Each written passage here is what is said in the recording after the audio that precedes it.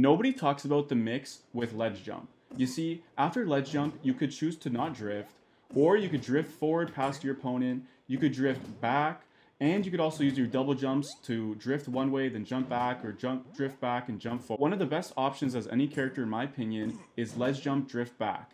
And that's so good because when you drift back after a ledge jump, it forces your opponent to not just cover with a high aerial, but it makes them overcommit if they actually want to punish your ledge jump by doing a really far back air. Gluto loves to abuse this, and it lets him get back on stage for free. Even though Big D is clearly waiting and watching for a ledge jump, Glutonny still makes it back with his ledge jump drift back, and then double jump nair dodges back in.